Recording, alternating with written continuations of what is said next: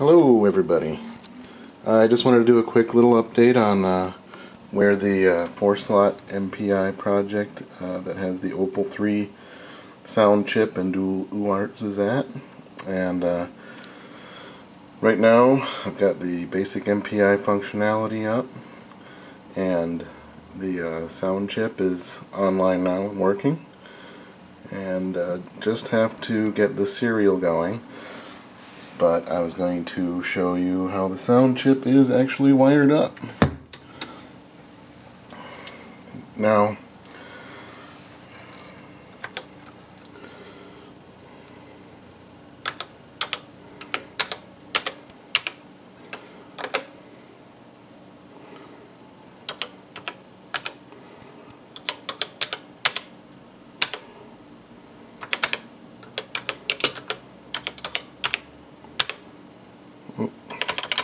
Need my quotes. Okay, so this is a YMF 262 that's hooked up and we have communications with the chip going. I know that uh, you know these chips seem like they'd be very difficult to program at first but actually you can do simple sounds without uh, too much involvement. This is just basic poking in register values. And uh, what it does is it generates a sound and then it um, changes the voice frequency just to kind of go up and down in frequency.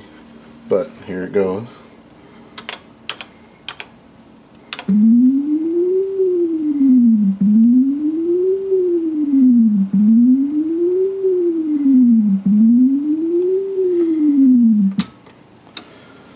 that is the OPL3 chip on the uh, new MPI. It is wired up and working. I'm going to be making a number of changes to the board. I'm not happy with the output circuit exactly, but you know, as far as the logic and everything, this is working. So next I'll get the serial going and the progress is being made. We're moving right along on this. So that's it for now.